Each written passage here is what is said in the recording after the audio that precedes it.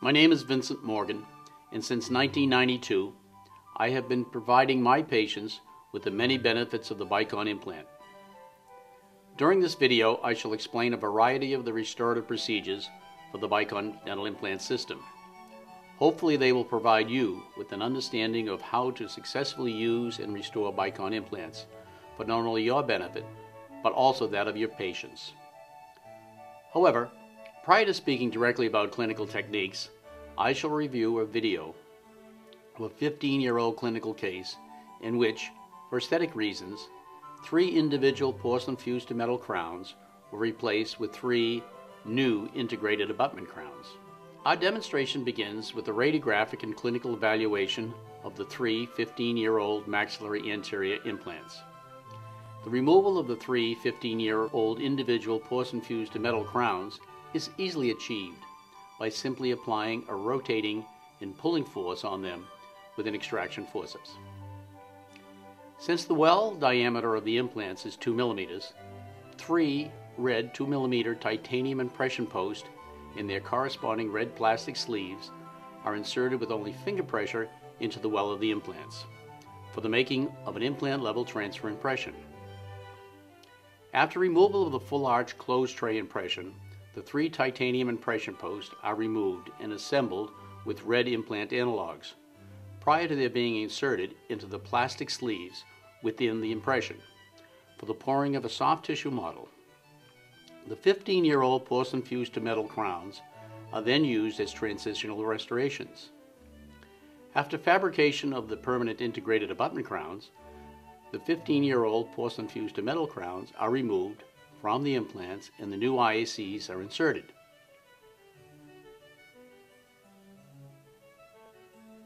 This clinical case clearly demonstrates the prosthetic simplicity and long-term radiographic, soft tissue, and aesthetic results of the Bicon implant.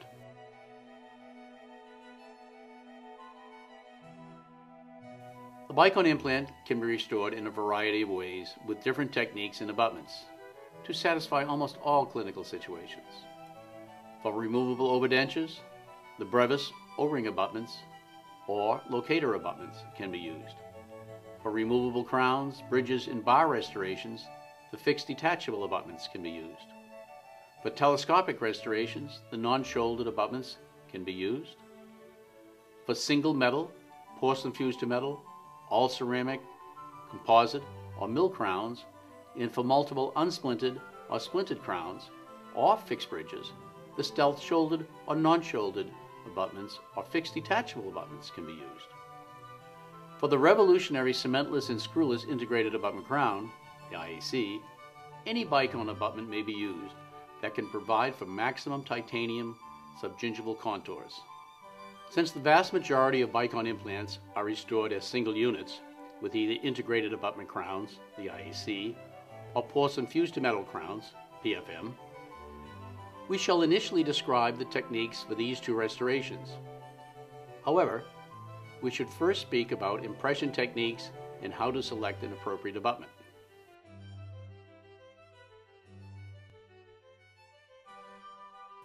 Although a direct impression of an abutment and an indirect impression of an abutment with a transfer impression sleeve and abutment analog are straightforward procedures, most clinicians and technicians prefer to use the implant level transfer impression technique.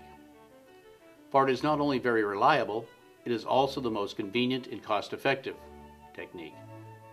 For it requires minimal chair time and minimizes the number of components the clinicians must have in their inventory. The implant level transfer impression entails the use of a red, blue, or green color-coded titanium impression post, plastic sleeve, and implant analog, which are specific respectively for a 2mm, a 2.5mm, and a 3.0mm implant well diameter. In our demonstration of the implant level transfer impression technique, four blue-colored 2.5mm titanium impression posts are inserted with only finger pressure into the corresponding 2.5mm well of the implants and blue plastic sleeves are inserted onto the titanium impression post prior to the making of an impression. Upon removal of the full arch impression, the titanium impression post must remain in the implant and only the plastic sleeve should be retained in the removed impression. If a titanium impression post were to be removed with its plastic sleeve, it would not necessarily have accurately recorded the position of the implant, and therefore the impression must be remade, after first confirming the definitive seating of the titanium impression post in the well of the implant.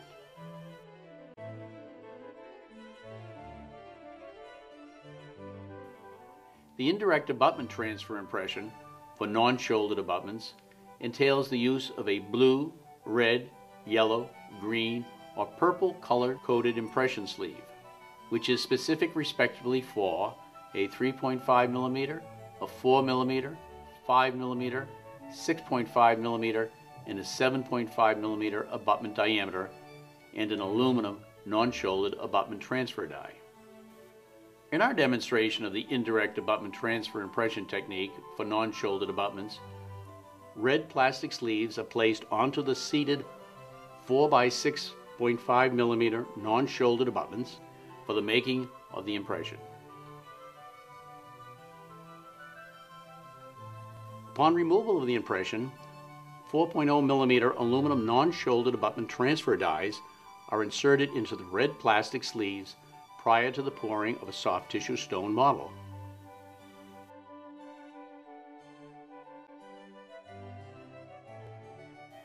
The indirect abutment transfer for the stealth shouldered abutment entails the use of a cream-colored impression sleeve and brass abutment analog, with a diameter corresponding to the diameter of the stealth shouldered abutment.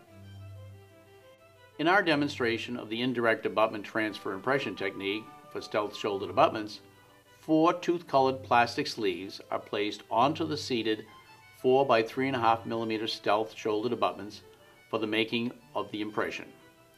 Upon removal of the impression, 4 mm stealth shouldered brass abutment transfer dies are inserted into the 4 mm tooth colored plastic sleeves prior to the pouring a soft tissue stone model.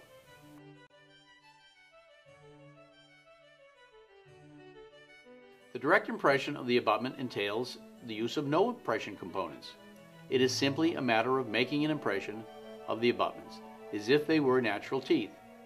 It provides the opportunity for a clinician to intraorally modify an abutment with carbide burrs to provide occlusal clearance or a subgingival shoulder for aesthetics.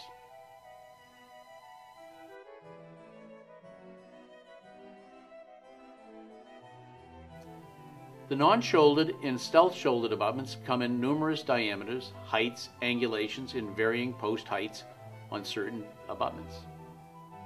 Prior to selecting an abutment, it is essential to have an understanding of how abutments are measured and described. For non-shouldered abutments, the diameter is measured at the widest point of the abutment, which occurs at the top of the hemispherical base. For non-shouldered abutments, the distance from the top of the hemispherical base to the top of the coronal aspect of the abutment is the height. The distance between the hemispherical base of the non-shouldered abutments and the top of the implant is variable depending upon the diameter and length of the abutment post. For the 2 mm diameter post, the distance is 3 mm. For the 2.5 mm post, the distance is 2 mm.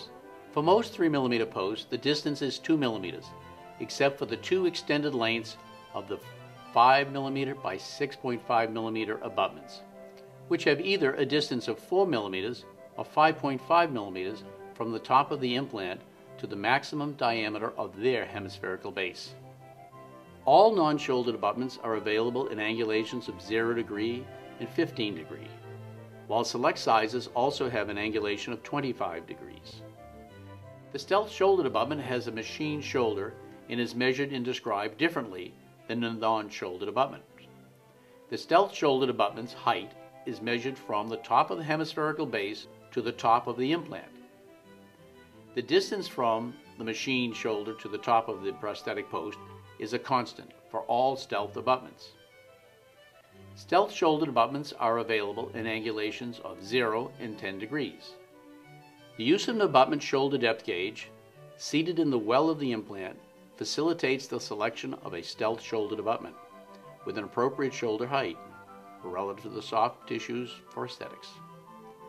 The horizontal markings indicate a distance of 2 millimeters, 4 millimeters, 6 millimeters, 8 millimeters from the implant to the shoulder of the abutment. An abutment should be positioned in line with the adjacent teeth and be large enough to support the soft tissues or interdental papillae without encroaching upon them. For aesthetics, the shoulder or height of contour of the abutment should be positioned 2 millimeters below the crest of the soft tissue, particularly on the facial. The length and width of the prosthetic post should be small enough to provide sufficient space for the necessary metal and porcelain materials of the PFM crown. If an implant is deeply positioned, a long shafted stealth shouldered abutment should be considered. Alternatively, a color-coded guide pin of the same diameter as the implant well with a color-coded sulcus reamer corresponding to the diameter of the intended abutment can be used to remove any impinging tissue between the implant and the abutment.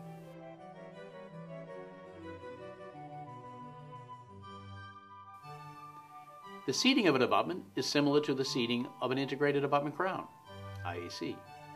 Once the appropriate abutment has been selected, it is inserted into the well of the implant and rotated until it is satisfactorily positioned in line with the adjacent teeth. It is then definitively seated by applying tapping force with a straight or offset driver handle.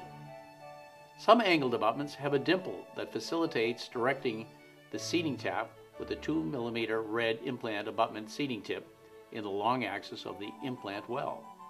An abutment can be efficiently removed from the well of an implant by applying a rotating and pulling force, or preferably by applying a tapping force on the handle of a forceps while it is grasping the abutment. An abutment can be removed and reinserted multiple times over a period of days or years without damaging its bacterially sealed locking taper connection. The use of an abutment preparation holder instrument facilitates the extraoral modifications of abutments by providing a means to securely hold the abutments.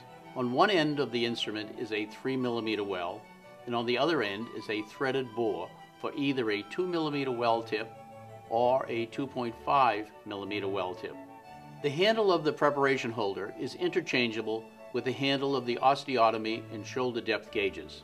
A soft tissue sulcus depth greater than 7 millimeters may result in a localized soft tissue only bacterial infection, which is usually resolved by irrigation of the sulcus.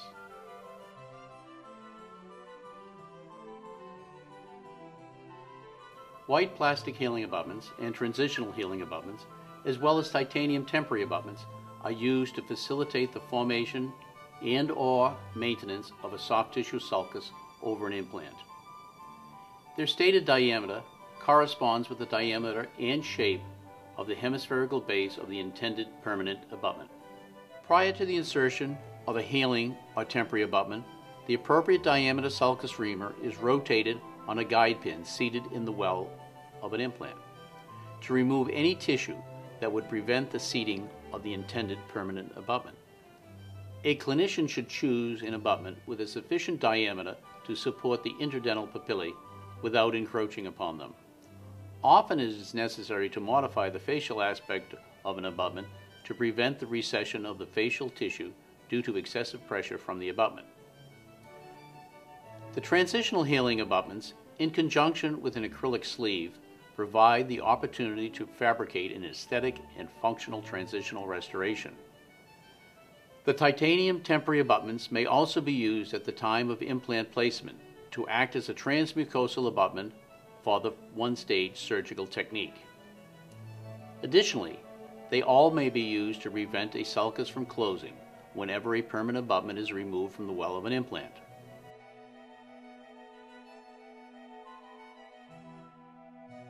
To prevent the need for the removal of a 2 mm broken post, all clinicians should restrict the use of 2 mm diameter posts to the anterior mandible, if possible.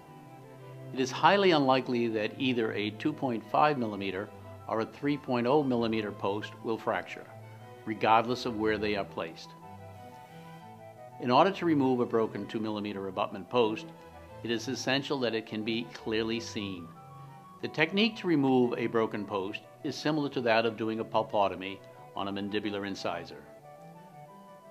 Coincidentally, the length of the broken post within the implant is the same length as the cutting edge of a number 1557 carbide burr.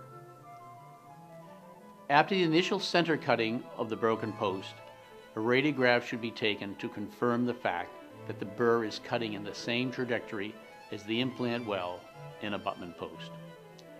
Once the clinician drops into the well of the implant, as though penetrating into a pulp chamber, the penetrated post is removed by using a number 4 round burr in a slow handpiece in the same manner as it would be used to remove the roof of a pulp chamber. The penetrated post will usually be removed on the shank of the number 4 round burr. If the removal of the broken post has been successful, the implant is capable of being restored with the same cemented restoration on a new abutment.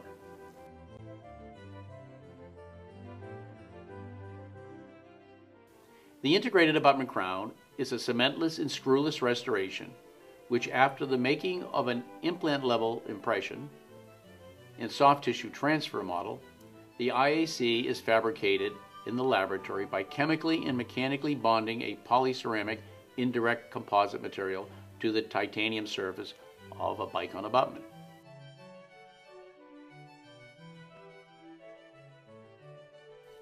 The prosthetic post of this abutment can be significantly smaller than the metal support necessary for fired porcelain restorations.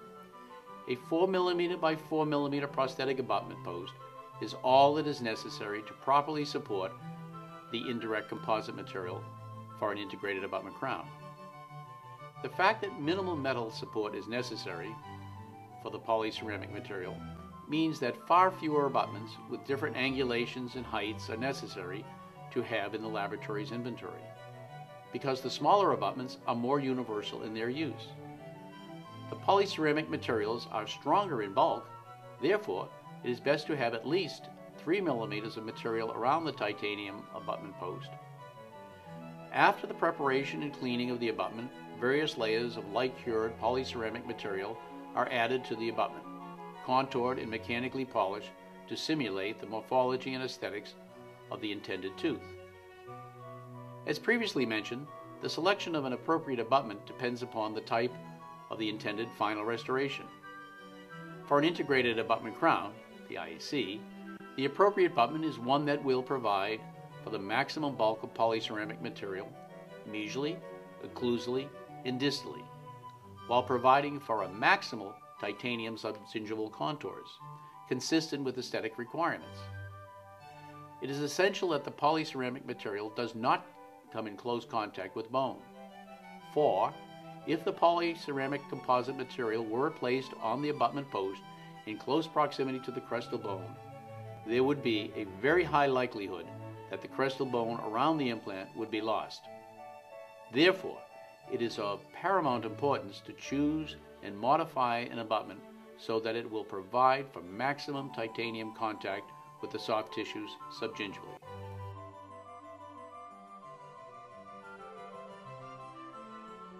The use of a digital image to record a few shades adjacent to the natural teeth against a black background is an efficient way to communicate the intended shade to the technician by simply sending the digital image via email or by a flash drive.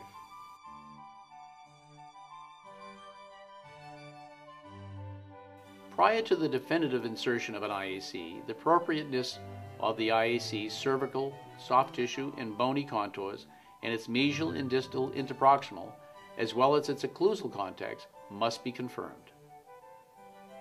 If there is blanching or resiliency of the soft tissues that prevents the IAC's complete seating, a simple relieving incision often facilitates its seating, unless there is also a bony impingement with the titanium abutment. Bony impingements can be removed by either modifying the IAC crown extraorally or by intraorally inserting a color-coded diameter guide pin into the well of the implant, onto which a sulcus reamer with the same diameter as the abutment's hemispherical base is placed and rotated to remove any impinging tissue. Prior to any adjustment of the interproximal contacts, an IAC should be rotated slightly with an extraction forceps to see if a new position could achieve appropriate interproximal contacts. To achieve a passive interproximal contact to the passage of dental floss, a carbide finishing burr or a rubber wheel can be used extraorally or an abrasive metal strip may be used intraorally to remove excess material. Alternatively, to close an open interproximal contact, the interproximal surface is roughened and cleaned with alcohol prior to applying a modeling liquid and composite material to the IAC. which is then light cured and polished either extra intraorally. Although any composite may be added, it is best to use the same material as that of the IAC. If the exact shade of the material is not available, the use of a translucent shade often facilitates achieving excellent aesthetics by picking up the underlying shade of the IAC as well as the shade of the adjacent tooth.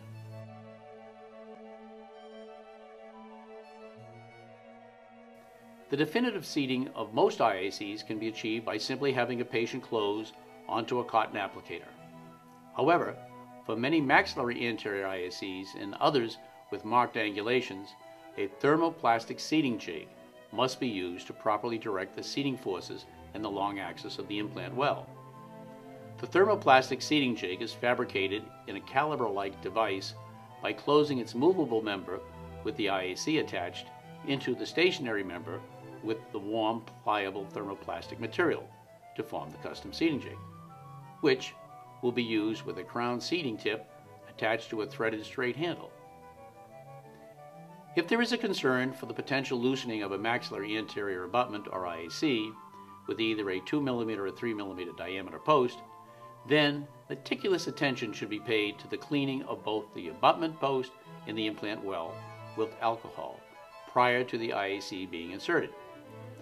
Contaminants such as blood or glove powder can reduce the efficacy of the locking taper by 50%.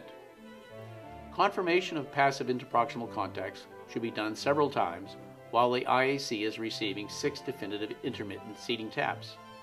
The use of Bicon's Max 2.5 implants provides clinicians with a significantly tighter abutment connection and virtually eliminates the concern for inadvertent abutment loosening.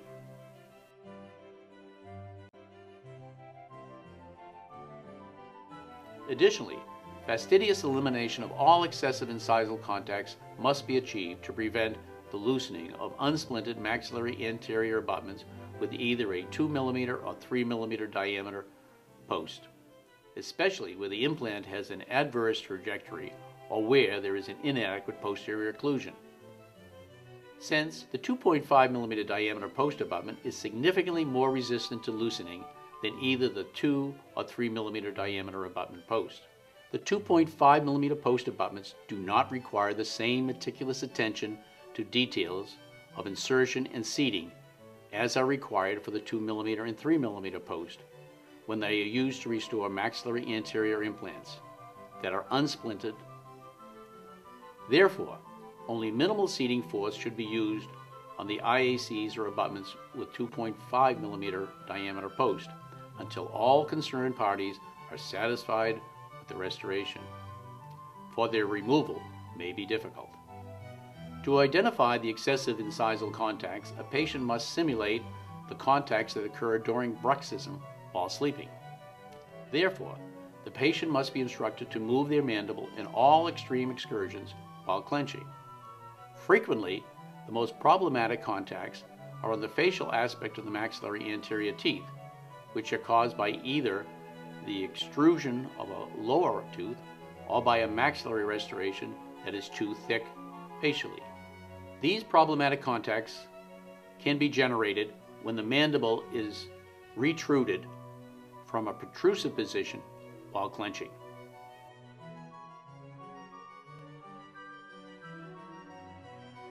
The modification, finishing, and mechanical polishing of polyceramic or hybrid composites are readily achieved if the appropriate techniques and instrumentation are employed.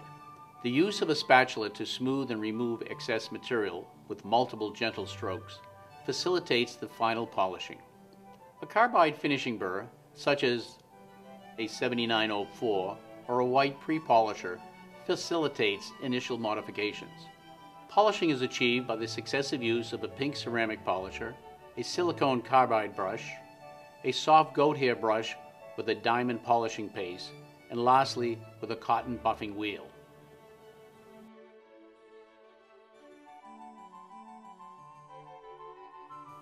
Because of Bicon's 360 degrees of universal abutment positioning in the well of its implant and the inherent nature of the polyceramic indirect composite materials, the Integrated Abutment Crown, IAC, provides clinicians and patients alike with remarkable clinical benefits that are simply not possible with other implant systems.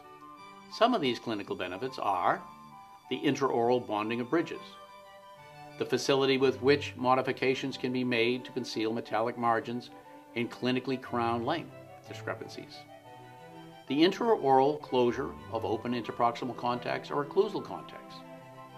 And the ability to achieve intraorally an ideally polished surface of any modification. Perfect marginal integrity of the titanium polyceramic interface is another meaningful benefit. Even with an electron scanning microscope, no space can be discerned at the polyceramic titanium interface. However, the most meaningful benefit for all concerned is the minimal amount of clinical time required to consistently restore an implant with excellent aesthetics and functionality that have been clinically proven by the test of time, even when an implant is poorly positioned.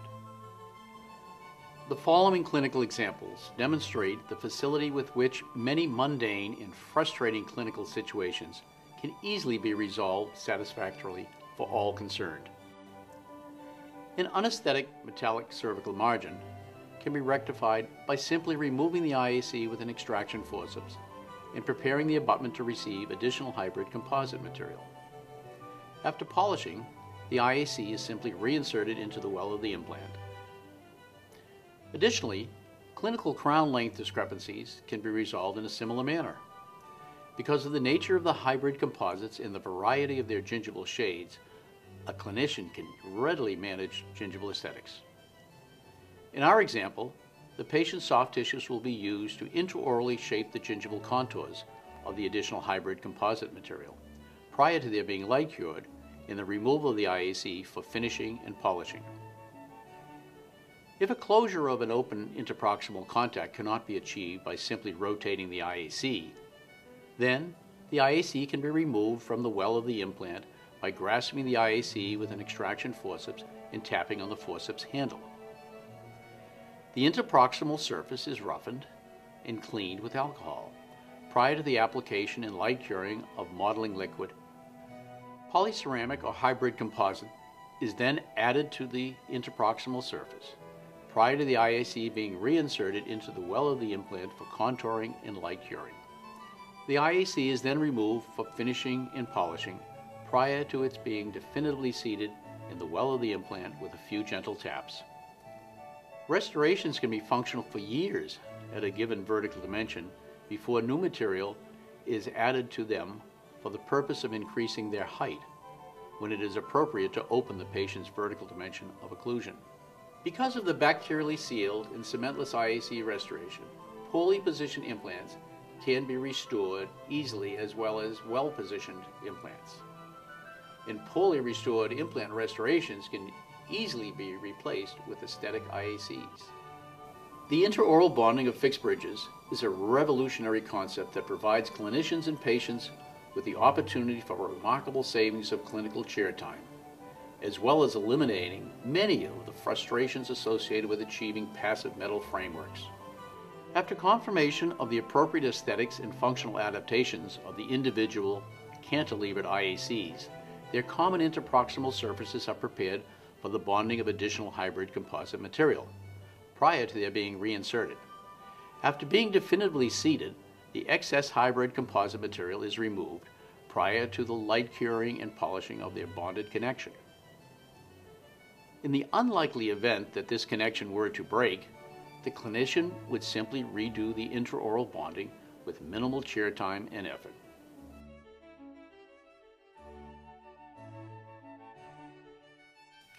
The porcelain fused to metal restoration is probably the most commonly used restoration. Because of Bicon's 360 degrees of universal positioning of the abutment post, the PFM crown can be either intra or extraorally cemented with either the non-shouldered or stealth-shouldered abutment. Alternatively, by using the fixed detachable abutment, a PFM crown can even be screw retained. Most clinicians and technicians prefer to use the implant level transfer impression for the fabrication of their PFM restorations because of its simplicity and the minimal required chair time. However, the direct impression of abutment intraorally offers the clinician the ability to modify the abutment intraorally with carbide burrs and to make an impression directly on the abutment without any implant components, just as if it were a natural tooth. Alternatively, an indirect impression using a color-coded plastic sleeve and transfer abutment analog for either a non-shouldered or stealth-shouldered abutment is also a practical impression for those clinicians who want to personally choose the abutment. But, as with the direct impression technique, the indirect impression requires the clinician to invest in maintaining an inventory of a variety of abutments. The cementation of a porcelain fused to metal crown on a Bicon abutment is similar to the technique with natural teeth. However, because of Bicon's 360 degrees of universal abutment positioning, the clinician has the possibility of extraorally cementing the PFM, which eliminates the issues of having extraneous cement subgingivally, which could cause significant bone loss if it were left over time. In our first demonstration of a porcelain fused to metal restoration, a 6.5 millimeter non-shouldered abutment is aligned and inserted into the well of the implant prior to being definitively seated with a few gentle taps in the long axis of the implant well in the abutment post.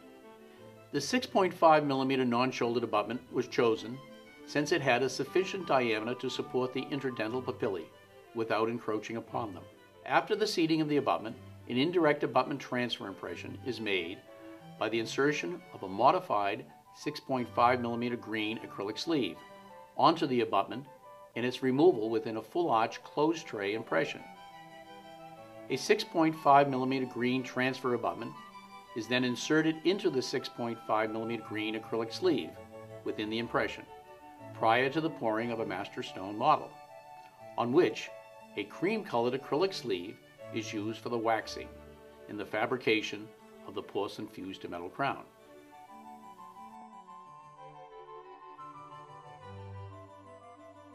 With minimal cement, the porcelain fused to metal crown is intraorally cemented in the conventional manner.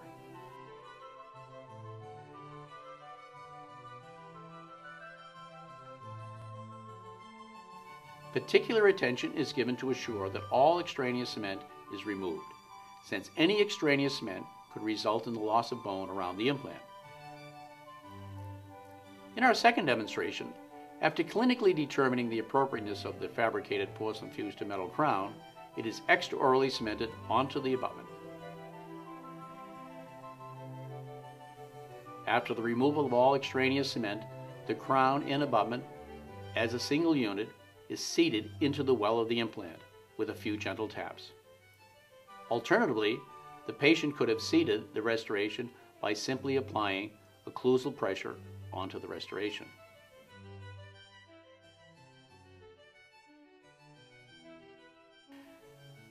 After the making of an implant level transfer impression and the fabrication of an all gold crown on a prepared non-shouldered abutment, the gold crown and prepared abutment are inserted into the well of the implant to confirm their appropriateness of their fit prior to their being extraorally cemented. After the removal of any extraneous cement, the gold crown and abutment are inserted as a single unit into the well of the implant with a couple of gentle taps.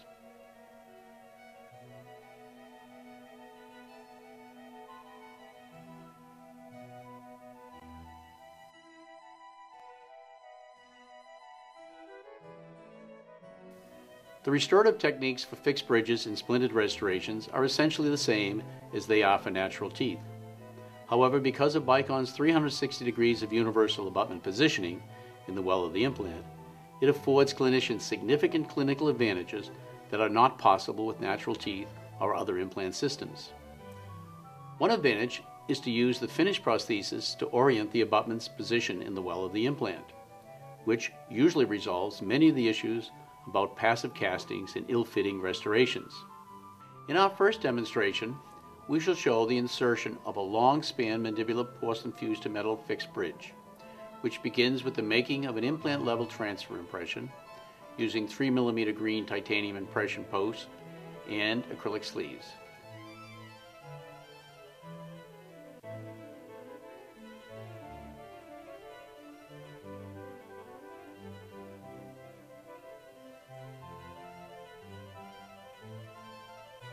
Due to Bicon's 360 degrees of universal positioning, the final prosthesis can be used as a means to orient and seat the abutments in the well of the implants. Initially, the canine abutment is inserted into the prosthesis and then aligned and seated in the well of the implant by aligning the mesial of the prosthesis with the distal of the lateral incisor. After removing the prosthesis, the abutment is gently tapped into the implant's well. The prosthesis is then reinserted to confirm its appropriate positioning. The molar abutment is then inserted into the prosthesis for its alignment and initial seating in the molar implant. The prosthesis is then removed and the molar abutment is definitively seated. The prosthesis is then reinserted to confirm its appropriate positioning clinically and radiographically prior to its cementation.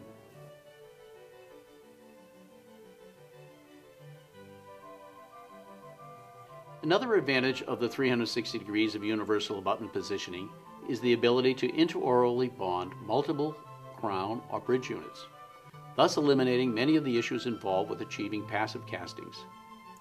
In our demonstration, a three-unit bridge is fabricated by intraorally bonding the distal of the canine cantilever with the mesial surface of the maxillary first bicuspid, IAC. After each individual IAC has been inserted with all necessary adjustments, one is removed and their contiguous interproximal surfaces are prepared for bonding. Each surface is cleaned with alcohol prior to the application and light curing of a modeling liquid. Polyceramic material is then added to each surface, and after the removed IAC is definitively seated and the excess polyceramic material is removed, Vaseline is applied prior to the light curing of the material.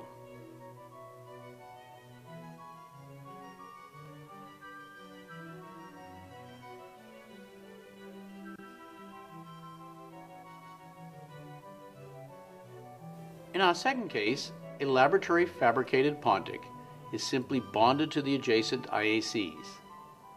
The surfaces of the two adjacent IACs are roughened, a modeling liquid is applied, and light cured.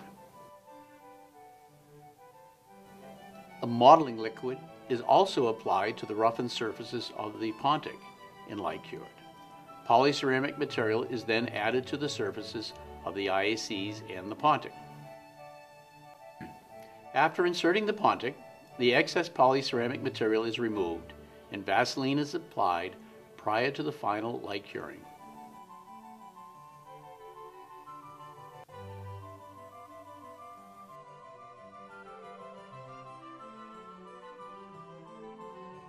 The telescopic or sleeve overdenture restoration is an excellent alternative to extensive cortical bone grafting that is often necessary for the treatment of atrophic alveolar ridges. Although it is a removable prosthesis, the patient perceives that the overdenture has the stability of a fixed prosthesis. This is particularly useful when there is a need for maximal lip support. Three implants placed bilaterally is the ideal support for this prosthesis. However, other arrangements are acceptable. Straight and angled non-shouldered and stealth-shouldered abutments with 360 degrees of universal positioning not only facilitate the fabrication, but also enhance the possibility for exceptional aesthetics of the telescopic restoration because the abutment itself can act as the primary crown, thereby providing more space for aesthetic considerations. In our demonstration of a telescopic restoration case, prior to the uncovering of the implant with 2 millimeter wells, an occlusal registration is made, which will facilitate the fabrication of the final prosthesis. After the uncovering of the implants, an implant level transfer impression is made by placing with only finger pressure red 2 millimeter titanium impression posts with their corresponding red acrylic sleeves into the well of the implants. The red acrylic sleeves are subsequently picked up in the full arch closed tray impression. It is paramount to assure accuracy that only the acrylic sleeves are picked up in the impression. The titanium impression posts are then removed from the implant well and inserted into the 2mm well of the 2mm red implant analogs prior to their being inserted into the acrylic sleeves within the impression. The impression is then poured in dental stone. Appropriate abutments are selected and milled parallel with their 2 degree, 3 millimeter long retentive tapers prior to the fabrication of six metal copings and a corresponding horseshoe shaped strut. A yellow acrylic insertion jig is fabricated over the milled abutments to facilitate the accurate alignment and seating of the milled abutments intraorally. After the insertion of the milled abutments, another occlusal registration is made prior to the insertion of six individual metal copings in the corresponding metal strut, which is luted to the copings with acrylic.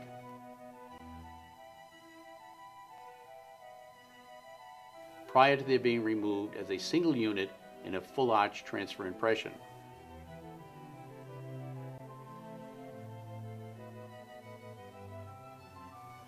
The milled abutments are removed from their implants and inserted into the well of the 2 millimeter implant analogs prior to their being inserted into their corresponding metal copings within the full arch transfer impression for the fabrication of a new master stone model.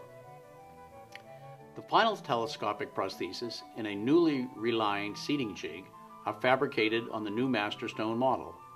The milled abutments are again removed from the model and with the newly relined seating jig are definitively seated intraorally into the well of their implants prior to the insertion and occlusal adjustment of the final telescopic prosthesis.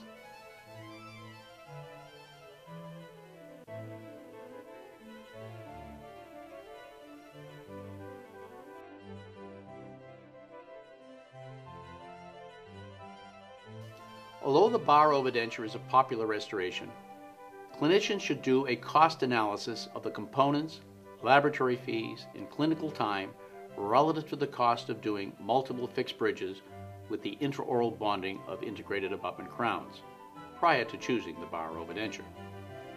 However, it does have merit for those patients requiring significant lip support. In our first demonstration, after the uncovering of three mandibular implants with 2 millimeter wells and the insertion of three 15 degree fixed detachable abutments with their 5 millimeter long hex coping screws. The abutments are rotated to achieve parallelism of the three coping screws. Once parallelism has been confirmed, the abutments are definitively seated into their implants with a few gentle taps. The hex coping screws are removed and the three titanium transfer copings are attached to the fixed detachable abutments with 10 millimeter long coping screws.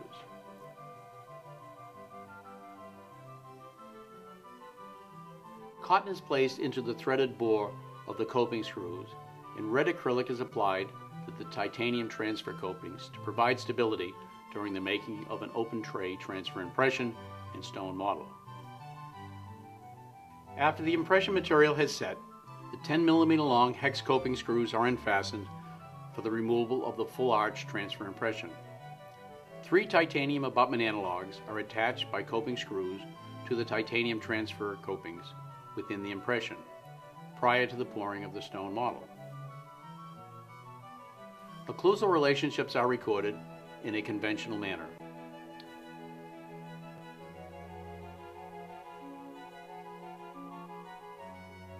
Once a satisfactory wax try-in of the denture has been achieved, the model and wax up are laser scanned for the CAD-CAM fabrication of a titanium bar and processed acrylic denture.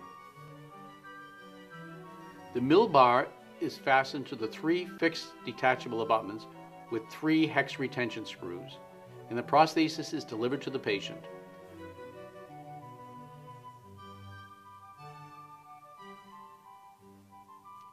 In our second demonstration, after the uncovering of four maxillary implants with 2.5 millimeter wells, an implant level transfer impression is made by inserting blue 2.5 millimeter titanium impression posts with their corresponding blue acrylic sleeves into the well of the implants prior to the withdrawal of only the plastic sleeves in a full arch closed tray impression.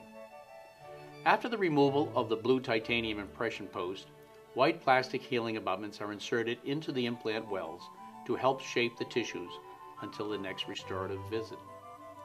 After a period of healing, the white healing abutments are removed and 2.5 millimeter guide pins are inserted into the implant wells to facilitate the selection of appropriately angled fixed detachable abutments. An abutment depth gauge is used to facilitate selecting an abutment with an appropriate height. The selected abutments with coping screws attached are inserted into the well of the implants prior to being definitively seated with a few gentle taps. Titanium transfer copings are placed onto the abutments and retained with a hex retention screw, which will be removed prior to the removal of the impression tray. Red acrylic is placed around the transfer copings to provide for stability during the making of an open tray transfer impression and stone model.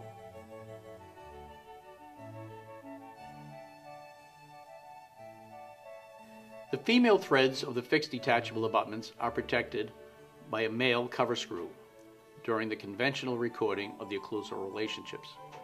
The laboratory processing of the milled bar and denture fabrication is the same as our previous case for three mandibular implants. The mill bar is fastened to the four fixed detachable abutments with four hex retention screws and the prosthesis is delivered to the patient.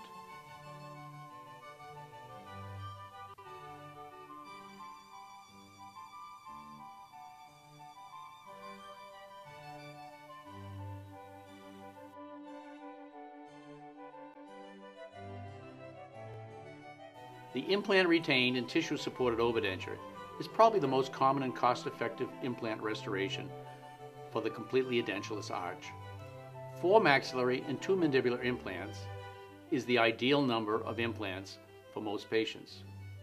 If the intention is to remove the palatal coverage of the maxillary denture, then four implants are advised. However, there is still merit in placing only one mandibular and two or three maxillary implants. Although the placement of more than four maxillary or three mandibular implants is possible, their efficacy and cost effectiveness should be considered relative to fabricating a fixed prosthesis. The fabrication of an implant retained and tissue supported overdenture, either chairside or in the laboratory, is a straightforward procedure. However, for it to be done well, particular attention must be paid to certain details to prevent the prosthesis from being implant borne or supported rather than just implant retained and tissue supported. If the prosthesis were to be implant supported, bone loss around the implant is likely to occur with the subsequent fracture of the implant. Because of Bicon's 360 degrees of universal abutment positioning, it is relatively easy with a combination of 0 and 15 degree abutments to achieve the parallel positioning of the abutments, even when the implants are not parallel. The selection of appropriately angled abutments to achieve parallel abutment positioning entails the use of a red, blue, or green color-coded guide pin, which are specific respectively for 2mm, 2.5mm, or 3mm implant well diameters. The guide pins are inserted into the corresponding well of the implants to indicate their trajectory, which facilitates the selection and positioning of straight or 15 degree angled abutments. Our demonstration of an implant retained overdenture utilizing two Brevis abutments begins with the registration of the occlusal relationship between the two dentures prior to the uncovering of the two mandibular implants. After the surgical uncovering of the implants, a red 2mm guide pin is inserted into the well of the implants, indicating the trajectory of the implants, thus facilitating the selection of the appropriately angled abutments to achieve parallelism and whose hemispherical base is in contact with the alveolar mucosa. Once parallelism has been achieved, by rotation of the abutments, The abutments are definitively seated into the well of the implants with a few gentle taps. A piece of rubber dam is placed over the newly seated Brevis abutments to prevent extraneous acrylic from locking the denture on the Brevis abutments. For additional assurance, Vaseline is injected under the rubber dam. Slightly viscous acrylic is then injected onto the seated Brevis housings and into the liberally relieved denture.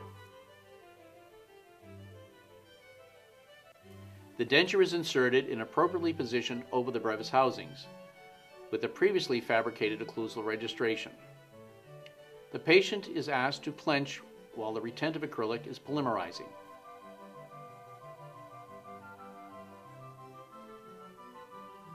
The denture is removed for the trimming of the extraneous acrylic and removal of the red plastic cap from the housing and polishing of the denture. If upon insertion of the denture there is not adequate retention of the denture, or, in time, excessive wear of the rubber O-rings, the housings may have been displaced on their abutment by a too viscous mix of acrylic. The housing should be removed and appropriately repositioned axially on their abutments for another pickup procedure.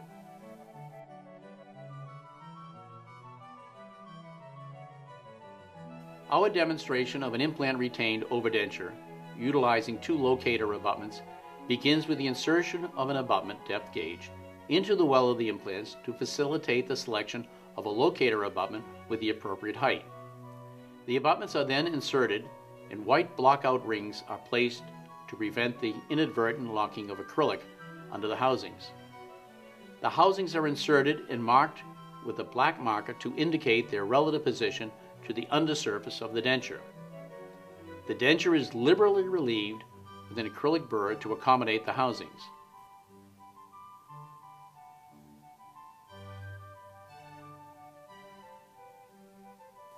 After confirmation that the denture has been appropriately relieved, acrylic is injected onto the housings and into the denture. The denture is inserted and the patient is asked to maintain occlusal pressure on the denture until polymerization of the acrylic is complete. The core tool is used to replace the black processing cap with the appropriate retention sleeve. And the denture is finished and polished prior to being inserted.